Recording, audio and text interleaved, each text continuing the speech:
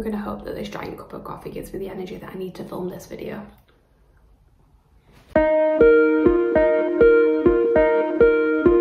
Hi everyone, my name is Chloe, welcome back to my channel, thank you for being here today. Today's video is going to be a TBR video. It is the September round of TBR MASH. I am well aware that the last video I put on this channel was my July TBR that I'm pretty sure I referenced the fact that I'd not really put any videos up since like my May TBR. Basically, life, as I've explained multiple times now on this channel, just has been like different over the last few months in a good way. Like I moved, but it just kind of upended a lot of things.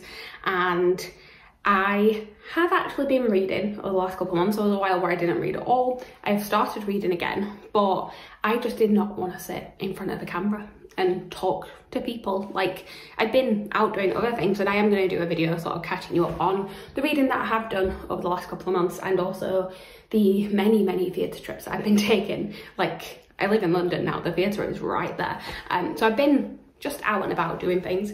But I thought, you know what, I do miss filming these videos. I am going to be incredibly awkward while I get used to filming them again. Um, but I have got a list of videos that I want to put out. I'm hopefully, fingers crossed, going to be back on it in September. And what better way to start that than with a round of TBR Mash. TBR Mash, for any of you who don't know, any of you who are new here, is my TBR game which is inspired by the childhood game of MASH. Now, I am going to struggle with explaining this this month because I have made a few changes to it to try and like make sure that I do actually keep up with filming these videos and I do actually keep up with my reading. So you know what, I'm gonna put this down because I talk with my hands and it'll be a lot easier to talk when I'm not holding the giant cup of coffee. So I'm gonna put this down and I will explain to you how it works. I should also say as well, actually, I'm hoping this room is a little bit less echoey than it has been when I filmed in here before. I'm in my dining room and we have finally sort of got around to decorating it. There are bookshelves everywhere and I'm hoping that it makes it less echoey, but I'm very sorry again if it is still a little bit echoey, but it's the only place that I have sort of a blank wall to film. And even then, like it's less of a blank wall than it was previously because I'm now in a different place because there are bookshelves where I was filming before. But anyway, TBR MASH, inspired by the childhood game of MASH. Usually you would use it to predict how your life is going to go. I use it to dictate how my reading life is going to go. So basically I use a random number generator, which I've just realised I haven't got my laptop, so I can't even use a random number generator. I'm going to have to run and grab that. I use a random number generator to work my way around the board, eliminating a prompt each time until there is only one left in each section, and that is the prompt that I use to pick my TBR. We also then have MASH in the middle, which in the game stands for mansion, apartment, shack, house. In my game, it is mansion is a big book, apartment is a small book, shack is a book you've been putting off, and house is comfortable, so it's a mood read. Now, this is where things start to change. Usually I have some things in there, which are basically kind of like punishments for if the game doesn't go how I want it to go and basically where I would have to pick extra books. And this is one of the issues that I've been having is that whilst I have been reading, what I've actually enjoyed over the last couple of months is sort of being able to mood read a little bit more and just pick what I'm in the mood for rather than feeling like I have to read something for content or to fit my TBR. So I don't want to have quite as many books on my TBR as sometimes I have had, because some months I don't get any extras and some months I get multiple. I've made it so that I can only ever have one extra every month. And the reason that is, is that I have taken out all of my plus one cards, which I normally have. And the only time I'll get an extra is if the same colour comes up twice, because each prompt has a colour. I have also possibly got a way around getting an extra though because these extras on here are ones that are left over from when my friends picked books to put on my TBR back in March. And because I'm a little bit behind on those because I've not been reading, although actually I think I may have read some of them just because I chose to read them. But anyway, because I've been a bit behind on those, I thought rather than sort of take them out completely. What I'm going to do is that if I actually want to put one of them on my TBR before I get to the extras, I'm going to do that. And then if it happens to come up as the extra that month, I don't have to take an extra because I've already put it on the TBR, if that makes sense. I know these are many ways to me sort of get out of things, but it's my game. I can do whatever I want. And yeah, I just want to make it so that I can actually read what I want to read rather than what I have to read. I'm, i know you guys are fine with that, but I just feel the need to explain it. Anyway, I do actually need to go and grab my laptop so I can use the random number generator. I don't think there's really anything else to explain because I've explained how the extras work, I've explained how the prompts work. Basically, that is pretty much it. I'm gonna work my way around the board and we're gonna see what prompts we get. So let me just go and grab my laptop so we can figure out what number we need to work our way around and then we will get to picking what I'm gonna read in September. I know I normally say here, I normally say there are any mandatory reads. There is one I'm doing Kristoffalong, it is my read along which I'm hosting with Lisa from Lisa Does Life. We are currently reading the Lifelike series by Jay Kristoff. I will try potentially to get the second book on here. Technically it should be the third book, but we've been doing the live shows sort of like the end of the first week of the month. Um, the next live show I believe is supposed to be on the 7th. I do need to double check that with Lisa, but basically I'm hoping to read the second book in the series in the first week of September and then I'll be reading the third book in the first week of October. So I need to try and get I can't even this Deviate, Deviate's the second one this is not my favorite series that I've read for that read along so I'm a little bit more like hmm I need to read that but do I want to? I'm going to. It's fine. But anyway let me go and grab my laptop and then we can see if I can fit it onto this TBR or if that one will be an extra but it's fine. It's fine. As always I set my parameters between the numbers 5 and 15 and this month we have got a number 15 it's always a long one. That takes me ages to get the first prompt but never mind. Well, it's either to get the first one or it's to get one of them, but at some point it takes a while to work my way around. But anyway, you guys don't need to see me count. Let's speed this up.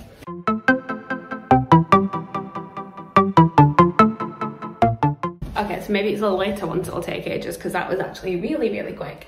And the first prompt that we have is, I've stuck these up with washi tape rather than Blu Tack, so it's making it harder, but it is hold more than one year ago which basically I have sort of got a like idea of things that I want to read at the minute and it's just trying to fit them in. And there was one that I just kind of remembered like, oh, I do want to read that. And you know what, I'm going to put it on here. It's, it's going to go on this TBR. I will try and read it in the month of September. Let me just go and grab it.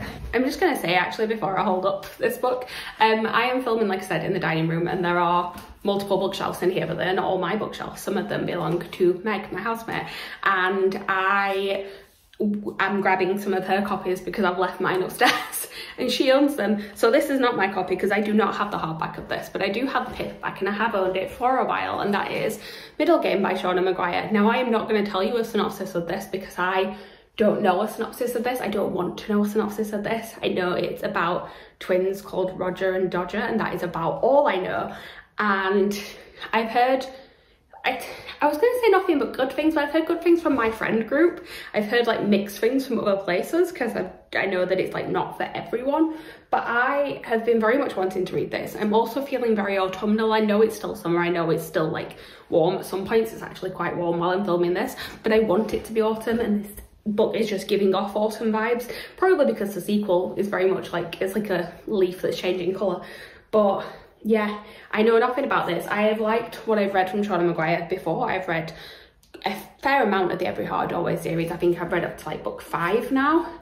And yeah, have no clue, but I have owned it for longer than a year. And Becca read it last month and she really liked it. And it's just sort of put it back on my radar again. And I'm, I'm intrigued. This was not like in my pile of books that I was already planning to put on my TBR but it, it stared at me as I was setting up the ring light. So Middlegame, that is what we're starting with. Okay, okay, let's see what our second prompt is, shall we?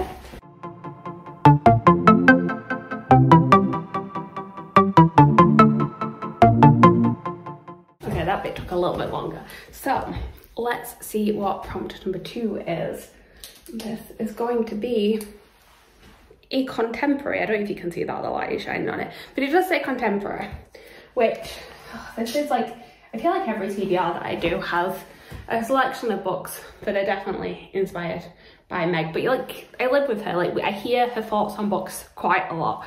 And I have been reading a book every month by a particular author for the last like well, this will be the third month now, and I'm actually very close to finishing one of them at the minute, and I'm immediately wanting to pick up her next book, and it is a contemporary, so why not just get it on this TBR at this point? Let me just go and grab it again. I'm going to be grabbing Meg's copy because I don't actually own it.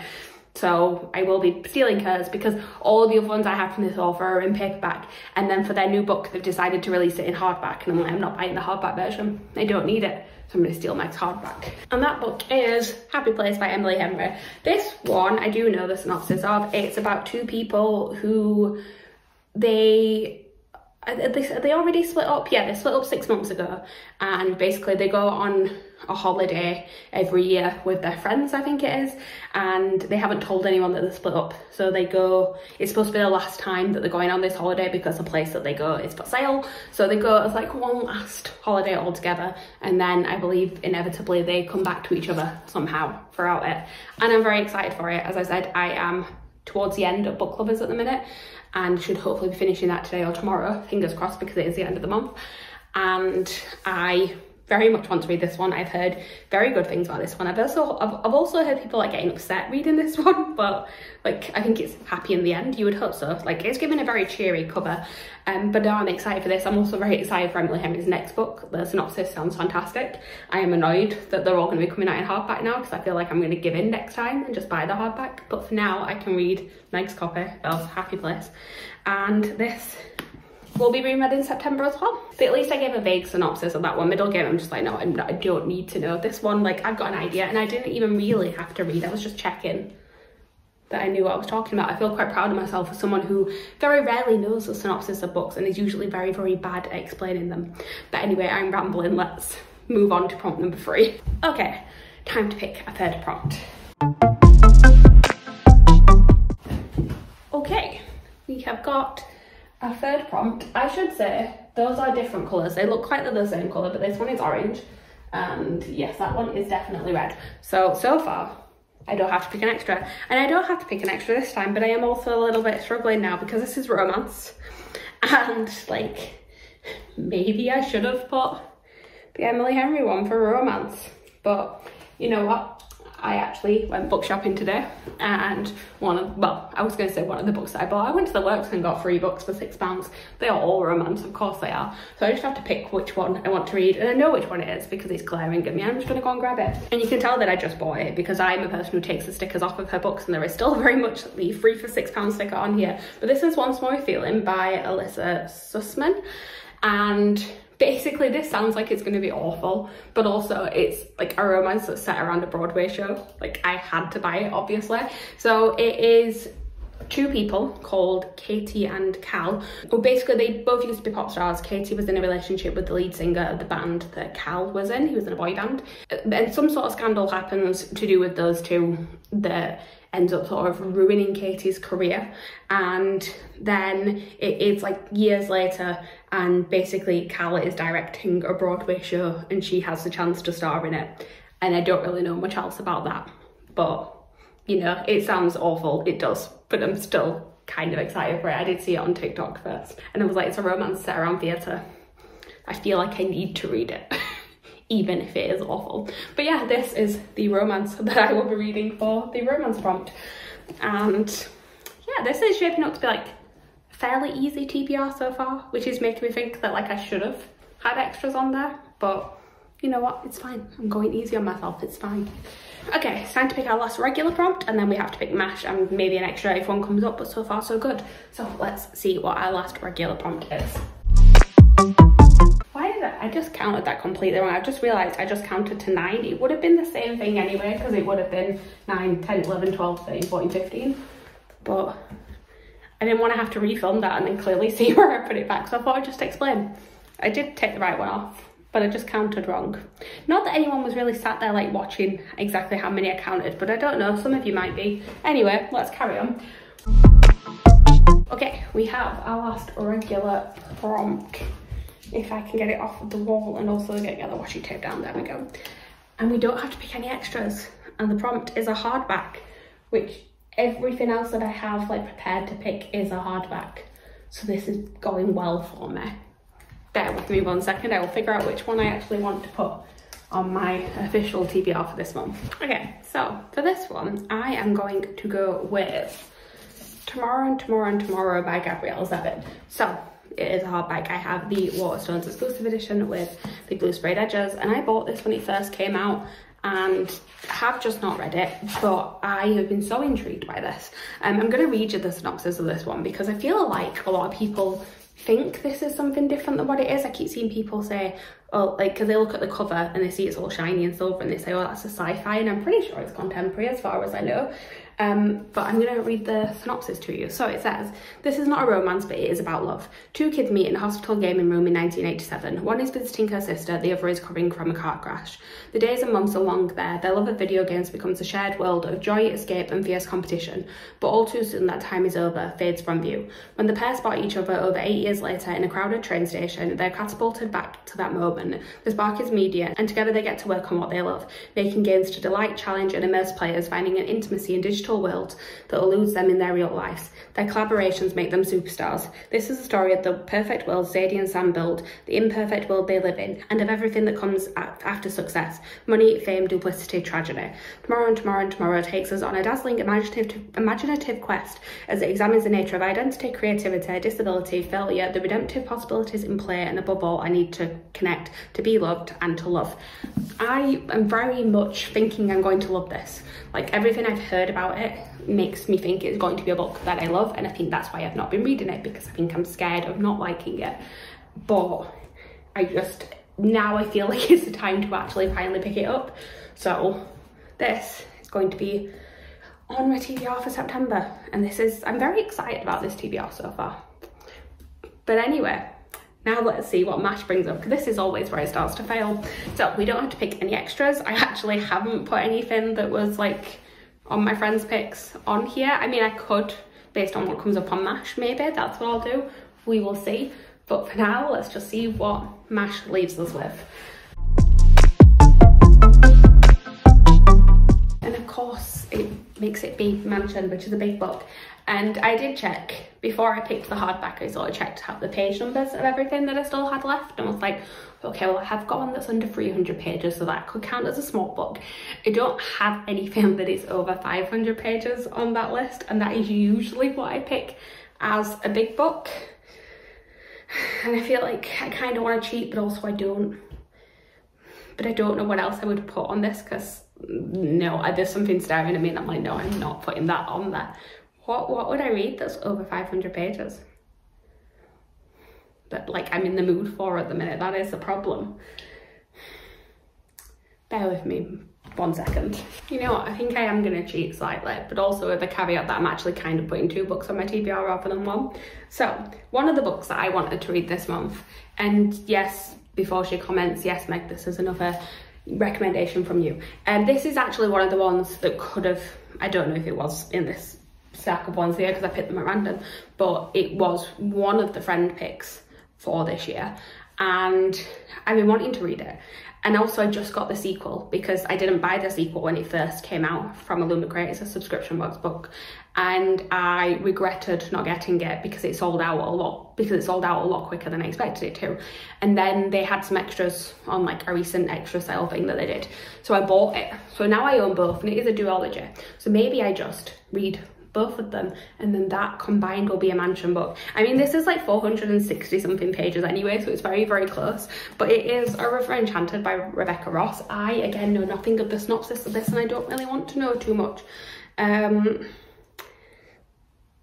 i don't know. I really really don't know. Um but look how pretty the book is. It's just a very beautiful copy. I do like i said also own a Fire Endless. I could just grab Meg's copy of the second one, show you my copy is upstairs. But I've been wanting to read it and I think now that I have the duology as well to sort of justify the fact that I've just spent the money on the second one, I feel like I should read them both, see how I like them and if I don't like them then obviously I can get rid of the set as a whole but hopefully I love them and I also really really want to read Divine Rivals as well because I keep seeing everyone going crazy about that. Although I will then be annoyed that I didn't get the FairyLoot edition because I'm not subscribed to FairyLoot anymore and I can see the FairyLoot edition over there as well and it's so pretty. But yeah this plus a Fire Endless. If I like this obviously if I don't like this I won't be reading a Fire Endless but if I do then it will definitely count as a mansion because I'll be reading like 800 pages so yeah that sounds like a lot, doesn't it? And let me just go and grab the other books actually so we can see how my TBR is shaping up and I will actually grab Meg's copy of A Fire Endless so I can show it on there and show how much I have to read this month. So yeah, for someone who didn't want to have too big of a TBR because she wants to mood read, this is not looking small. It's not looking that big, but like there's a lot. There are two romances, one like contemporary, but not romance at the bottom, and then three fantasy. So it's a nice balance of things. But this is what it's looking like. I am going to show you the few other things that I did want to get my TBR because there's two others that I wanted to get on there plus Deviate. Um, and I'm hoping that I will still read these this month. So I'm just going to show them as sort of like, maybe I'll read them. Because this is kind of how I've been doing my TBR since I've been filming down here. So I don't have to keep running up and downstairs to grab boxes. I sort of grab a selection of books I am interested in reading this month. And then I still play the game and I just fit the prompts to them as and when I can and then obviously if I have to pick something completely different like when I got to Middlegame then I will but the other two that I really wanted to read this month are Alone With You in the Ether by Olivia Blake. Olivia Blake keeps having new books coming out that I haven't read and I really enjoyed the first Atlas 6 book, didn't love the Atlas Paradox but I'm really intrigued to see what the writing is like in a book that isn't from that series so I would like to read this especially because Masters of Death has just come out and that one sounds really intriguing. There is also I can't remember what the other one's called. The one for my enemy or something like that. That one has come out. Oh, it tells you in here actually. Yeah, one for my enemy. That one has also come out. But Master of Death is the newest release and that's the one I'm most intrigued by. But I've owned this one for a while, so I thought I should probably read this first. This was a book that would have been if I got apartment as pick because it's quite small. And then the other one that I want to read is another recent special edition from a book box company. It wasn't in the monthly box, it was just a separate one I bought and that is Mortal Follies by Alexis Hall. I have read four Alexis Hall books. I've read both of the books in the Bake Off, it's Winner Bakes It All series. Uh, Rosaline Palmer Takes Cake and Paris Daillencourt is going to crumble or about to crumble. Um, and I've read boyfriend material and husband material and I enjoyed them all. I am intrigued to see what they do with a fantasy world and also this, this cover is just stunning like it's so pretty so I needed to get it because look at the sprayed edges and I would like this to not be one that sort of just sits on my shelf for ages until I read it. I would like to read it sooner rather than later. So I would hopefully read this in September. Um, and like I said, I would also like to read Deviate. Potentially I will read True Life as well this month. Um, but that probably will end up being the beginning of October instead. But that is kind of how my reading is shaping up. It's not the easiest reading month necessarily, but it's also not the worst. And I'm hoping having some structure to it will be good because whilst I have enjoyed being able to mood read this month, there have been times where I've just had no idea what to reach for next. So it'll be nice having a bit more structure back to it. But that is everything. I am going to be back with more videos. I have a whole plan laid out. I was going to film one tonight, but we'll, we'll see how that goes but I should have another one up in the next few days which will be part one of sort of catch up of the last two months. I'm going to do a book catch up a theatre catch up and then we'll do my regular wrap ups for August because I don't think I ever did a wrap up for June. So I need to do sort of June and July separate and then I'll do August and then we'll be back on track. I have some tag videos to film. I have some general sort of like recommendation videos and things to film. I have got some things that I'm not going to try and explain now because I've got ideas that just aren't quite cemented yet but I have got ideas. So videos will be coming. I do have like a nicer setup to film in now now that we've decorated down here. So things are all falling into place. But anyway I'm gonna stop rambling. Thank you guys for watching. Please like comment subscribe all that good stuff down below. Let me know what is on your TBR for September and I will see you guys soon with a new video I promise. Bye